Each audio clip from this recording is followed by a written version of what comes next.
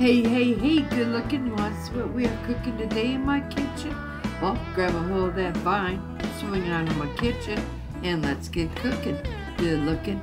Today, I'm going to sit there and show you just how easy it is to make fresh bruschetta.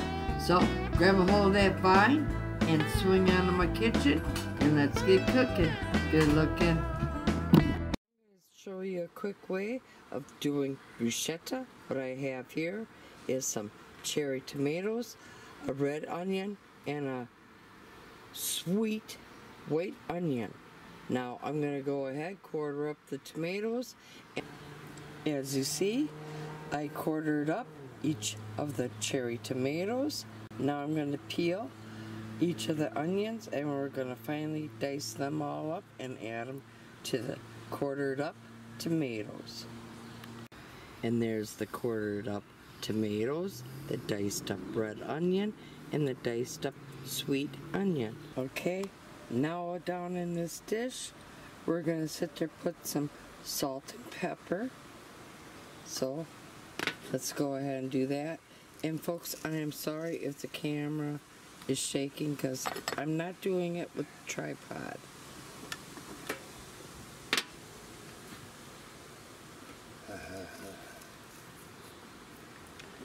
And then I have some dried minced garlic that I dehydrated myself. So I'm going to go ahead and add that. And now we're going to sit there and add maybe two teaspoons of olive oil. Stir this all up. Now I also have a small palmful of the dehydrated red and green peppers. They're the sweet ones, so put them all in. And now let's go ahead and mix this all up. We're go. Now we're gonna let this macerate up. In other words, we're just gonna let the tomato and the peppers and the onion all have one hell of a party inside the bowl for about 30 minutes or to an hour. Right now, we're going to sit there and drain any of the liquid that has accumulated in the bruschetta here. I have a strainer along with a bowl. We're going to put all this mixture in the strainer and allow any of the liquids to go down into the bowl and we'll put all this back into the bowl we're taking it out of.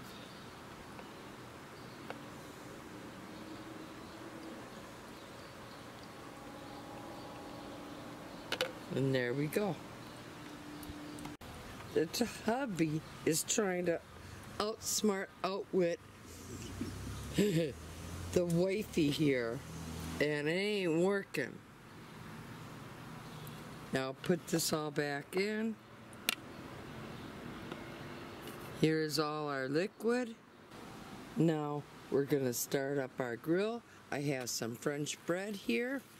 I'm gonna sit there and put that all down on top of the Blackstone griddle. I have some balsamic glaze. I have some fresh mozzarella pearls and we're going to be using some of my fresh basil. Our Blackstone griddle is all heated up. Now I'm just going to sit there, grab some of the French bread here, and we're going to place it down, and we're going to toast up each side.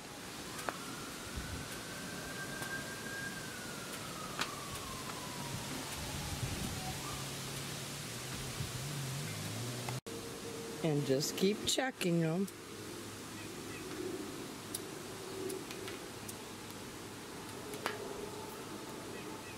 Let's check them again.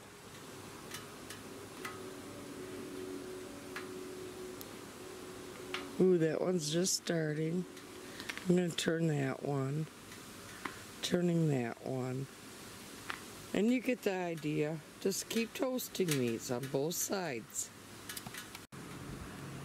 And there you see They're turning nice and golden brown. That's what you want. Okay, I'm going to show you quickly how we assemble it.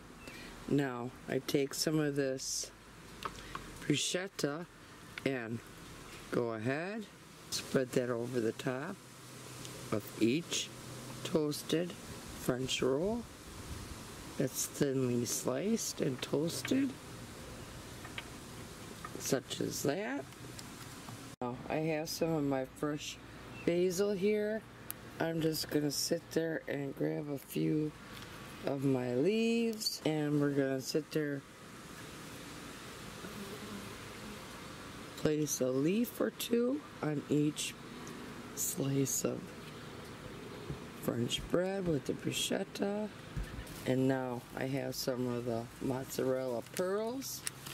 And we're going to sit there and place one or two of the pearls on top of the bruschetta.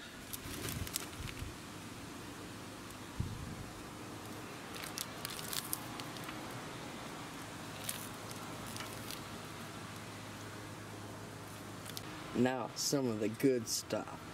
We take some of this balsamic glaze, or some of you might know it as balsamic drizzle. Usually I make my own, but sometimes I just don't feel like it, and I will go and use the pre-made stuff and go ahead, give it a good drizzle over the bruschetta, and then it's Bon appetit. Now let's go ahead and give this a taste test. Mmm. Mm-hmm.